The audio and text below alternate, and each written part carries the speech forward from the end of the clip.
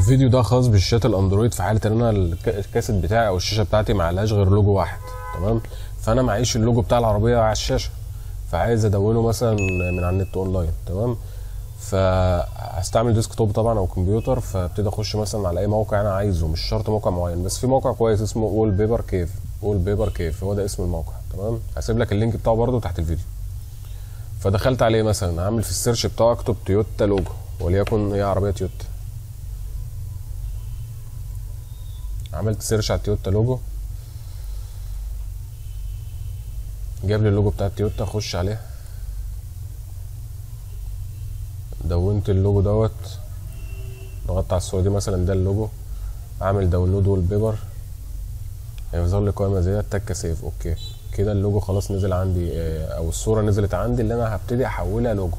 ابتدي أفتح موقع تاني بيديني المقاس المناسب للشاشة. ابتدي افتح اداه تعديل اسمها اي ام جي تو جو ده موقع تاني. هسيب لك برضو ال link بتاعه تحت الفيديو. لو عايز تنزل عليه تمام؟ ابتدي اخد منه تحويل صورة إلى صورة. تمام؟ دخلت عليه اختار الملف اللي أنا لسه مدونه. من على ال desktop طبعا. أجيب اول file هتلاقي اللوجو بتاع تويوتا نزل هنا أهو. اختاره.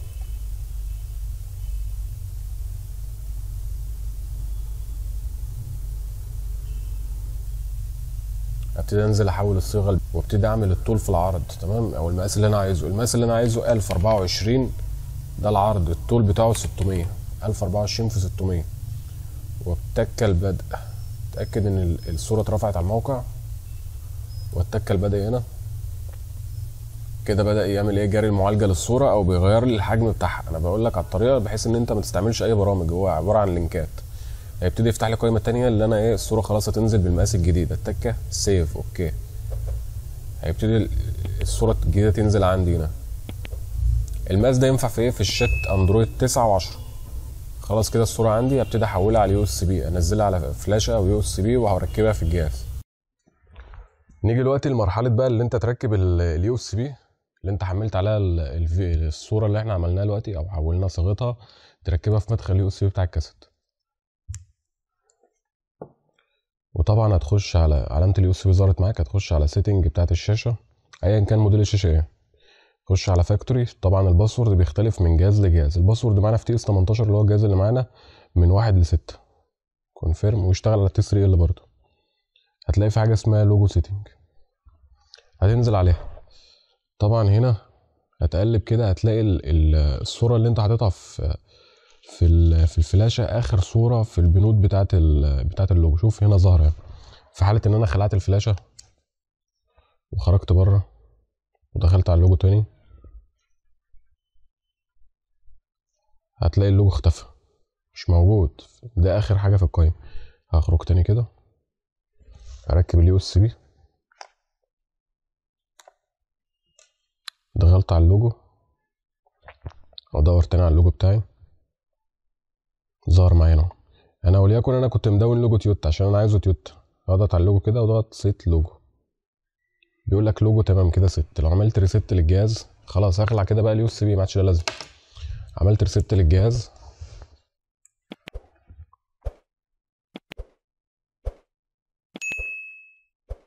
فتح معايا على لوجو تويوتا. يبقى انت كده اتعلمت إزاي ان أنا انزل لوجو من على النت واحول الصيغة بتاعته لصوره مناسبه للشاشة وابتدي إيه إزاي اسطبها على الجهاز. في حالة انت الجهاز معلوش لوجوهات خالص وعايز تحط عليه كمية لوجوهات هتاخد copy من الصور تحطها على الايه على ال internal بتاع الجهاز أو على الذاكرة الداخلية بتاعت الجهاز. بس. وده كان للشاشات 9 بوصة. شاشات 7 بوصة هكمل لك الفيديو بيها. بالنسبة للأجهزة السبعة إنش 7 إنش اللي هو بينزل المساحة الداخلية بتاعته دي 7 إنش. بيبقى أصغر من التسعة. آه، طلع بيعتمد نف- نفس المقاسات بتاعه 9 انش اللي هو 1024 في 600 تمام؟ البكسلة بتاعت الصورة. فأنت كل عليك برضو نفس الطريقة ركب ال USB على اللوجو وتخش على setting نوع الشاشة اللي معانا دي T 3 L تخش على car setting ال password المستعمل من extra password واحد اتنين تلاتة أربعة خمسة ستة OK. ارفع القائمة اللي فوق تجيب لوجو هتلاقي طبعا اللي على الفلاشة آخر حاجة آخر حاجة في القائمة تجيب علامة التويوتا اللي إحنا كنا عاملينها بيكسل على الفيديو ألف اربعة وعشرين في ستمية. set logo. اعمل reset للكاسيت. طبعا هتشيل USB ما هتشيل لازمة.